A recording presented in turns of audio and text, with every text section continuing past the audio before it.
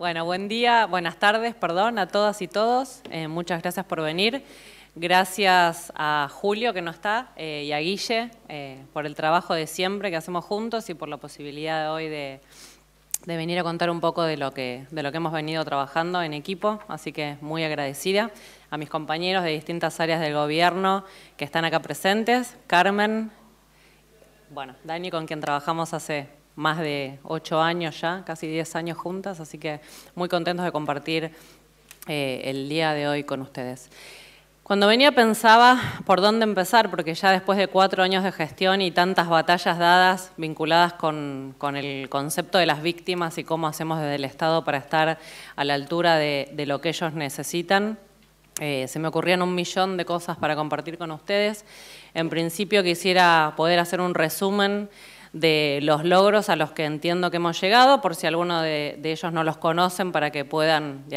tomar nota de eso y también exigir su cumplimiento desde las posiciones que ustedes ocupan. Y después sí compartir algunos de los que creo que son desafíos que todavía tenemos pendientes para trabajar juntos. Eh, nosotros tenemos en, el Poder Ejecutivo una lógica eh, de seguimiento que, instauró la gobernadora eh, al principio de su gestión, que es que es muy rica porque no hacemos seguimientos por áreas, sino que hacemos seguimientos por temas. Eso hace que la mayoría de los que están en fila 1 y Dani y yo hayamos compartido innumerable cantidad de, espacios de reflexión y de, programación de políticas públicas con María Eugenia y solos,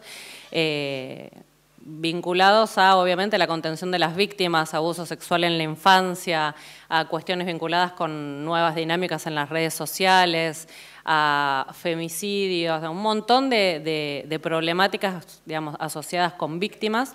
Nosotros desde el Organismo Provincial de Niñez y Adolescencia estamos llegando en la actualidad a unos 45.000 casos eh, abordados por año en promedio, obviamente eso va cambiando de año a año. Em,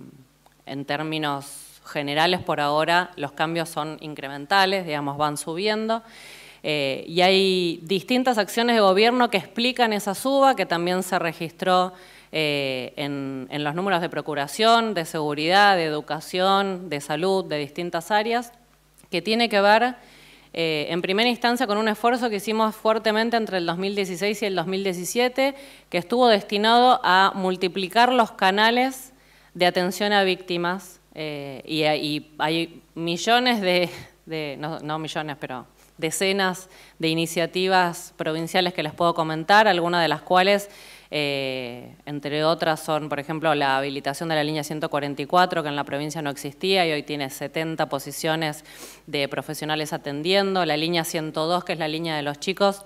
atendía como part-time, digamos, no atendía todos los días del año, no necesariamente en todos los municipios estaba funcionando y ya está eh, también plenamente activa. El registro de menores extraviados, que no depende del organismo de niñez, depende del Ministerio de Derechos Humanos, también era una línea que no funcionaba eh, y ahora está plenamente activa. Las tres líneas que mencioné vinculadas con el 911, haciendo reuniones periódicas. Eh, el registro de, espacios de atención a la víctima que coordinó Guillermo, el MIAB, que está publicado en Internet y que es de uso de todos los equipos técnicos, por lo menos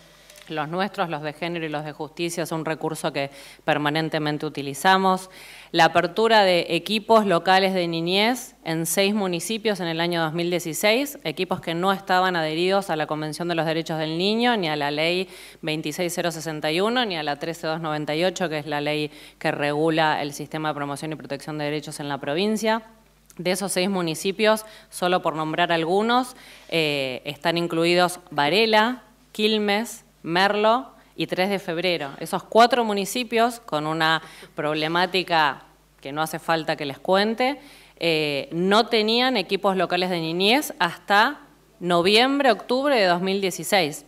Eso obviamente generó un impacto en el incremento de la cantidad de casos. Todavía hoy está pendiente la adhesión a la ley de los municipios de José Cepaz, Perazategui y Tuzaingó, digamos, algo que entiendo imperdonable teniendo en cuenta que la Convención de los Derechos del Niño está por cumplir 30 años este año. Eh, muchos desafíos todavía pendientes, pero bueno, siguiendo con la línea de la, diversidad y la multiplicación de canales de denuncia, también hicimos múltiples operativos del Estado en tu barrio que llegan hoy a millones de personas, también operativos de cerca de noche que durante dos años y medio funcionó en barrios muy vulnerables de la provincia en horario nocturno, con equipos interdisciplinarios de adicciones, de violencia, de salud y de niñez trabajando en territorio. Esos son solo algunos de los, de los ejemplos. Se suman también la multiplicación de oficinas de atención a la víctima del Ministerio de Justicia, de comisarías de la mujer. Todos esos canales permitieron que de alguna manera el Estado ofreciera una diversidad de espacios donde pedir ayuda. Quizás eso antes solamente lo podíamos encontrar en la comisaría y si uno tenía alguna presunción de que no iba a ser un espacio empático donde ir a pedir ayuda o si podía haber alguna connivencia de las fuerzas de seguridad con las personas que nos estaban haciendo daño, bueno, eso hacía que que hubiera un montón de, delitos y de vulneraciones de derecho que no quedaban registradas. Hoy, si hay algo de lo que nos podemos jactar es de la multiplicidad de canales que tenemos, incluida la aplicación de seguridad provincia. Digo, a medida que pasa un minuto me voy acordando de algún canal nuevo. Pero me parece que, digamos, llegamos a un punto en el que esa multiplicidad de canales no alcanza per se, o incluso puede terminar siendo contraproducente si no empezamos a generar mejores prácticas entre quienes estamos detrás de escena y quienes tenemos que, activar procedimientos a partir de ese pedido de ayuda y de esa demanda que nos hace la gente. Está bueno tener un montón de canales eh, y que las víctimas puedan tener una multiplicidad de opciones para elegir cómo y dónde pedir ayuda, pero después de ese pedido de ayuda lo que tiene que suceder tiene que ser algo mejor que lo que sucede hoy. Eh, y en esa línea venimos trabajando arduamente entre los ministerios en la mesa interministerial que está regulada legalmente y que no se cumplía desde el año 2007 hasta el año 2016. No hubo encuentros interministeriales formales entre las áreas para regular las políticas de infancia, eso lo hemos retomado y de ese encuentro han surgido distintos protocolos. Uno es el de en el 2016 trabajamos en un protocolo de atención a hijos eh, de víctimas de femicidio, que después terminó derivando, digamos, en la implementación de la ley Brisa, pero fue algo que, lo hicimos eh, prematuramente en la mesa. Eh, y el reciente protocolo de actuación frente a situaciones de abuso sexual en la infancia, que está, es un protocolo que trabajamos con todos los ministerios del Poder Ejecutivo de la provincia y que está la firma de la gobernadora para que antes de fin de año podamos tener eh, ese procedimiento regulado. Ya estamos avanzando con capacitaciones. Hoy empezamos la novena capacitación en territorio para equipos de niñez para que también mejoren sus prácticas respecto a las situaciones de abuso sexual. Eh, y también venimos trabajando eh, duro con Daniela para que eso tenga un correlato legislativo también.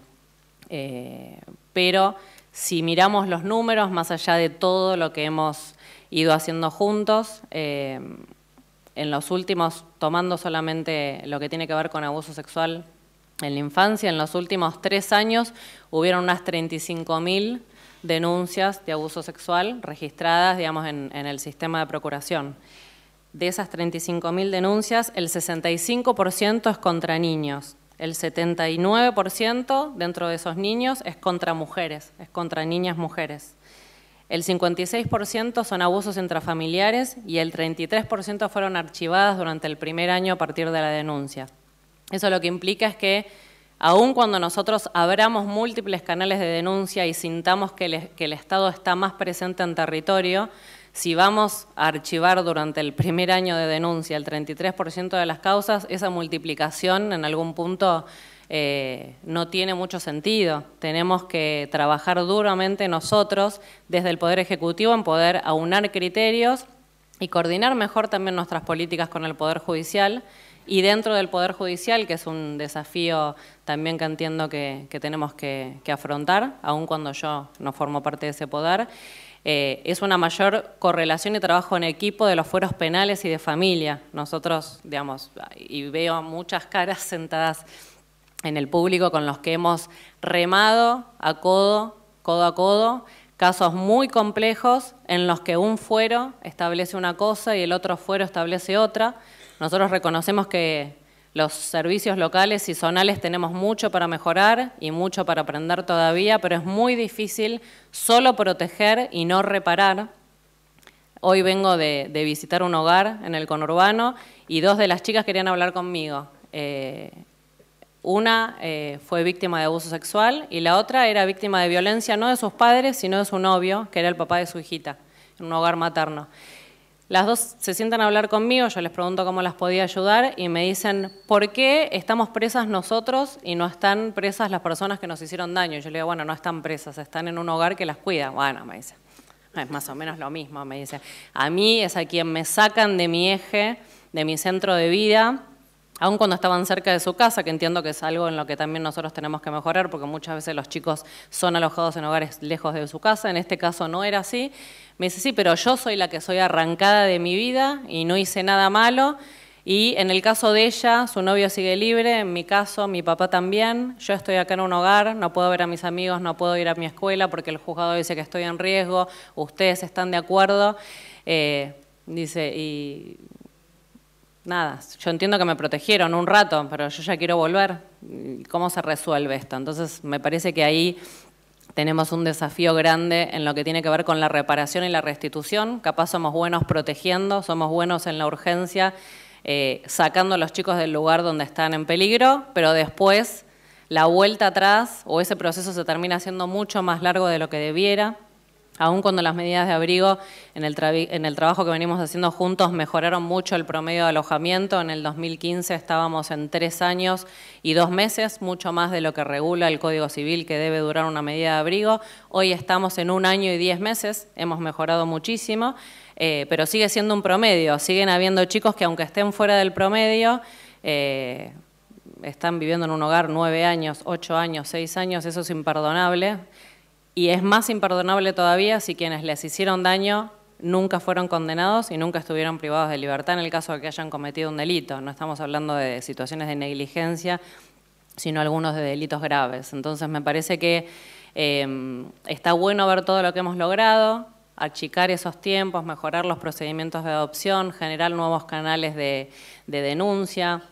el programa Autonomía Joven que implementamos para los jóvenes que egresan de hogares eh, con una ayuda que ahora es reconocida por una ley nacional y que se extiende hasta los 21 años y si los chicos estudian hasta los 25. Eh, son todas políticas públicas novedosas que vienen para quedarse, eh, que quien esté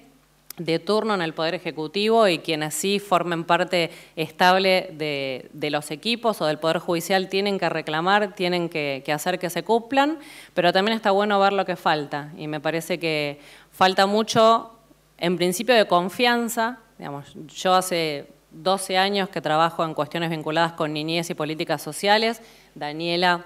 otro tanto, eh, más focalizado en políticas de género, y siempre nos pasa que el Poder Judicial siente que el Poder Ejecutivo no hace lo suficiente y que el Poder Ejecutivo siente lo mismo respecto del Poder Judicial. Me parece que si sumamos todo el tiempo que todos le dedicamos con buena intención eh, al trabajo y sobre todo si sumamos todos los sueldos que nos pagan a todos nosotros, debiéramos poder hacer mucho más por los chicos de lo que estamos haciendo.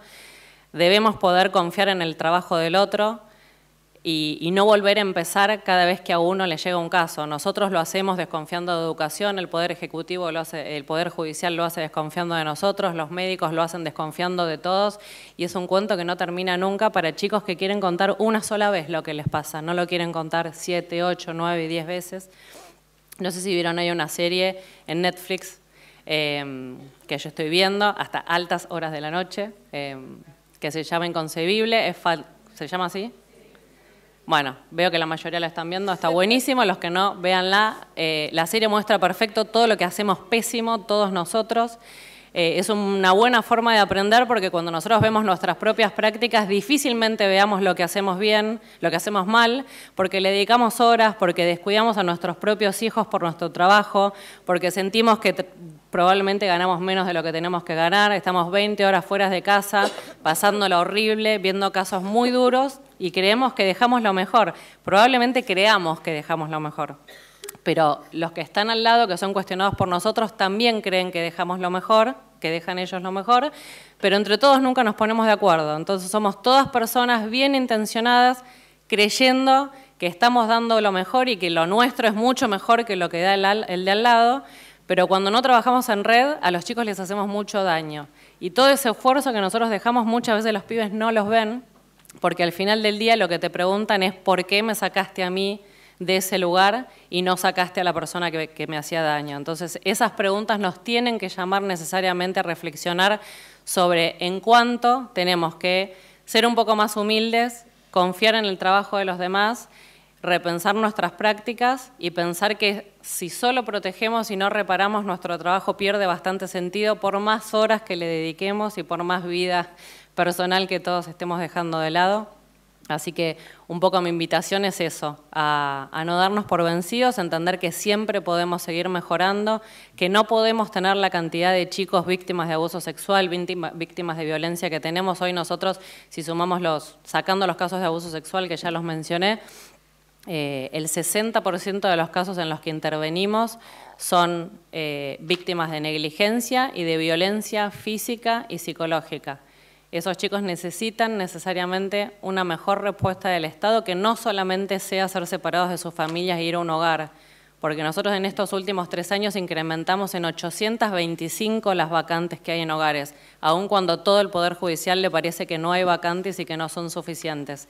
¿Cuántas más vamos a necesitar? Digamos, no puede ser la única política de Estado, tenemos que poder trabajar mejor entre nosotros, reducir los tiempos de instituciones, sacar de esas casas a los grandes que hacen mal y volverlos a ese lugar, a los pibes que no tienen por qué estar lejos de sus casas. Entiendo que es una práctica totalmente distinta de la que estamos acostumbrados a implementar, pero en algún momento, si no queremos tener 10.000 chicos en hogares en la provincia de Buenos Aires, nos vamos a tener que animar a hacer algo distinto de lo que venimos haciendo y me parece que todos nos sobra compromiso profesional, cabeza y corazón como para poder hacer algo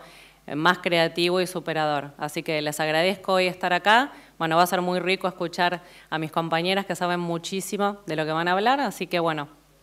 contenta siempre de seguir generando y, aprovechando espacios de mis compañeros para, reflexionar y detectar cosas en las que podemos ser mejores. Así que gracias.